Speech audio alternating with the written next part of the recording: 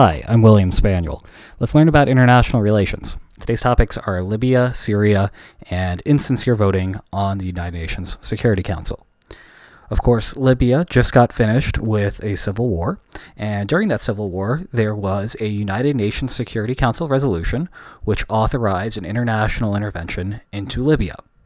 In contrast, Syria still has a civil war ongoing, and there has not been, nor will there be, an international intervention or a Security Council resolution against Syria. So the question is, why do we see this difference, and how does this relate with insincere voting? And that leads us to our big question here, which is, why do states vote insincerely on the Security Council? Let's kick things off with a trivia question here. In discussing the current civil war in Syria, China often mentions the disastrous United Nations Security Council resolution number 1973, which authorized military action against Libya. How did China vote on 1973? Did they vote yes, no? Did they abstain? Or was the Chinese ambassador hungover, got up late, and missed the vote due to New York City traffic? Remember, this Security Council resolution is voting for an inter- intervention. So if you vote yes, that is saying we want an intervention to occur. So think about this for a moment and go ahead and post a comment with your expected answer into the comments section. And once you've done that, let's try to reason through what the answer seemingly should be. Well, China doesn't like this resolution, and so it's pretty clear that they shouldn't be voting yes on it if they don't like it, so let's just cross out yes. Next, you should be able to reason that, well, China has veto power on the Security Council. So if they really don't like a resolution, they can vote no, and that ensures that the resolution will not pass, period.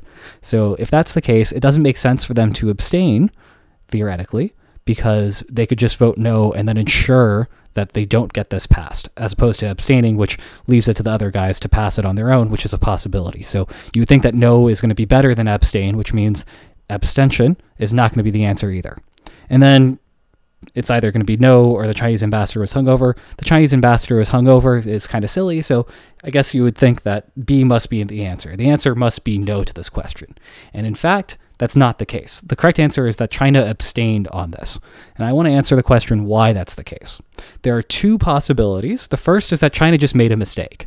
They didn't realize how bad that this resolution would end up being for them, and this would be turned into a big disaster in Libya and something that China really did not want.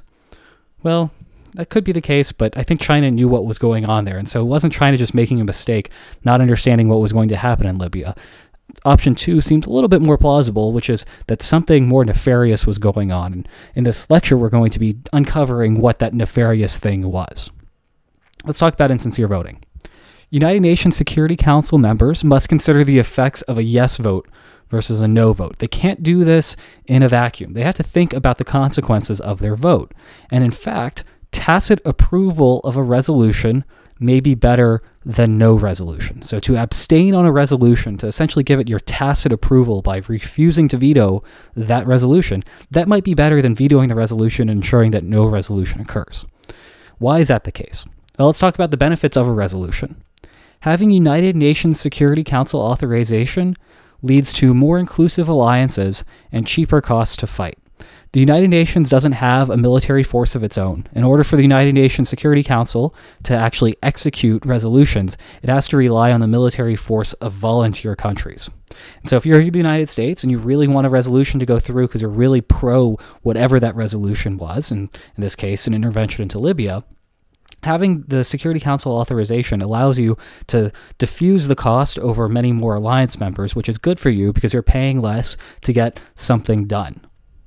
Now, there is a bit of a cost to this for the guys who really want the resolution to pass, like the United States in this case, and that's going to be a limit in the scope of what they can do. So, by having more guys on the United States' alliance, that comes at the cost to the United States of having not as deep scope of the mission. This is going to limit what they can do because they have to appease everyone on their alliance to keep the alliance going. And as a result, you can't do as much as you might want to do otherwise if you were alone and could choose exactly what was going to happen and not have to worry about any of these sorts of costs. So you're trading scope of what you do for cheaper costs of doing it. And we're going to analyze how this interacts with voting on the Security Council. But before we can do that, we need to have a quick little definition here. An outside option is the best available plan of action if the primary option fails to work. So, in the context of a Security Council resolution, my outside option is, as the United States, is what I would do if the Security Council resolution would not go through. Okay? Let's look at two different situations. Let's first look what happens when outside options are good for the United States. So, the United States' preferences are on the left, China's preferences on are on the right. When the outside options are good for the United States, the United States most prefers having United Nations Security Council authorized action. This is going to be a cheaper operation, even if it is a little bit more limited. Now, because the outside options are good, the United States prefers unilateral action to no action. So, because the outside options are good, I'm willing to pay the cost, even if I have to do it alone. I would prefer that to having no action whatsoever. But it's still the case that I, as the United States, prefer Security Council authorization to no authorization. And on the other side, you have China, who doesn't want the United States to do anything at all. But also, China doesn't have to worry about the costs involved. So it's just worried about the outcome. It's the United States that's going to be paying the costs. China's not going to be paying any of these costs. So China wants no action. And then next wants United Nations Security Council authorized action, because that's going to be limited in scope again. And then the last thing they want, the thing that they least want, is unilateral American action, because that's going to be really broad in scope, and that's going to be something that China's going to want to avoid. Now, let's work through the logic of this using a game tree. So, China is going to start out by choosing whether to approve or veto. And depending upon China's action, the United States, if China approves, chooses whether to go with an authorized force or to commit no action. Or if China vetoes, the United States chooses to go alone or again to choose no action. Now, let's suppose that China vetoes and see what happens here. If China vetoes, does the United States go alone or take no action? Well, looking back to the United States' preferences here, the United States likes unilateral action over no action at all. This is because, again, that the outside options are good. So when the outside options are good, if China vetoes, the United States goes alone. In contrast, if China were to approve, the United States could go alone, or rather to go with the international force, or take no action. Obviously, the first option, the, best outcome for the United States is for the United Nations Security Council to authorize action and then take that action. So if that's the case, then if China approves, the United States goes with the security force of the international world. And so we can take that information and look now to see what China should do. What should China do here? Should China approve or veto? If China approves, the United States goes with international force. If China vetoes, the United States goes alone. Well, looking at China's preferences, China prefers authorized action to unilateral action, which means China is going to approve, and then the United States is going to go ahead with the international task force. What this means is that China is going to be voting insincerely. China doesn't actually like the resolution, but vetoing the proposal causes the United States to take a more extreme action. And so tacit approval is better for China than allowing the United States to take that extreme action. Now we should look at this the other way around, where outside options are bad. So China's preferences are going to be the same. They want no action to limited action to broad action.